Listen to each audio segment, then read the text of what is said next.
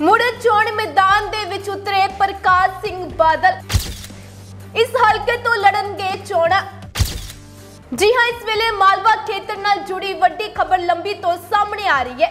ਦਰਅਸਲ, ਪੰਜ ਵਾਰ ਪੰਜਾਬ ਦੇ ਮੁੱਖ ਮੰਤਰੀ ਰਹਿ ਚੁੱਕੇ ਸਰਦਾਰ ਪ੍ਰਕਾਸ਼ ਸਿੰਘ ਬਾਦਲ ਸ਼੍ਰੀ ਮੁਕਤਸਰ ਸਾਹਿਬ ਦੇ ਵਿਧਾਨ ਸਭਾ ਹਲਕਾ ਲੰਬੀ ਤੋਂ ਚੋਣ ਲੜਨਗੇ। ਸ਼੍ਰੋਮਣੀ ਅਕਾਲੀ ਦਲ ਵੱਲੋਂ ਲੰਬੀ ਹਲਕੇ ਤੋਂ ਪਾਰਟੀ ਦੇ ਸਰਪ੍ਰਸਤ ਪ੍ਰਕਾਸ਼ ਸਿੰਘ ਬਾਦਲ ਨੂੰ ਆਪਣਾ ਉਮੀਦਵਾਰ ਬਣਾਇਆ ਗਿਆ ਹੈ। ਇਸ ਦੀ ਜਾਣਕਾਰੀ ਅੰਮ੍ਰਿਤਸਰ ਵਿਖੇ ਪਹੁੰਚੀ ਹਰਸਿਮਰਤ ਕੌਰ ਬਾਦਲ ਵੱਲੋਂ ਦਿੱਤੀ ਗਈ ਹੈ।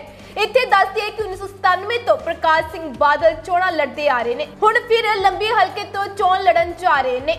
ਇੱਥੇ ਦੱਸਦੀ ਹੈ ਕਿ ਪਹਿਲਾਂ ਇਹ ਕਿਆ ਸਰਾਈਆਂ ਲਗਾਈਆਂ ਜਾ ਰਹੀਆਂ ਸਨ ਕਿ ਸਿਹਤ ਠੀਕ ਨਾ ਹੋਣ ਕਰਕੇ ਪ੍ਰਕਾਸ਼ ਸਿੰਘ ਬਾਦਲ ਚੋਣ ਮੈਦਾਨ 'ਚ ਨਾ ਉਤਰਨ। ਇਹ ਵੀ ਅੰਦਾਜ਼ਾ ਲਗਾਇਆ ਜਾ ਰਿਹਾ ਸੀ ਕਿ ਉਹਨਾਂ ਦੀ ਨੋ ਹਰਸਿਮਰਤ ਕੌਰ ਬਾਦਲ ਵੱਲੋਂ ਲੰਬੀ ਹਲਕੇ ਤੋਂ ਚੋਣ ਲੜੀ ਜਾ ਸਕਦੀ ਹੈ। ਪਰ ਹੁਣ ਹਰਸਿਮਰਤ ਕੌਰ ਬਾਦਲ ਨੇ ਪੱਤਰਕਾਰਾਂ ਦੇ ਨਾਲ ਗੱਲਬਾਤ ਕਰਦੇ ਹੋਏ ਇਹ ਸਪਸ਼ਟ ਕਰ ਦਿੱਤਾ ਕਿ ਪ੍ਰਕਾਸ਼ ਸਿੰਘ ਬਾਦਲ ਲੰਬੀ ਹਲਕੇ ਤੋਂ ਹੀ ਚੋਣ ਮੈਦਾਨ ਦੇ ਵਿੱਚ ਉਤਰਨਗੇ।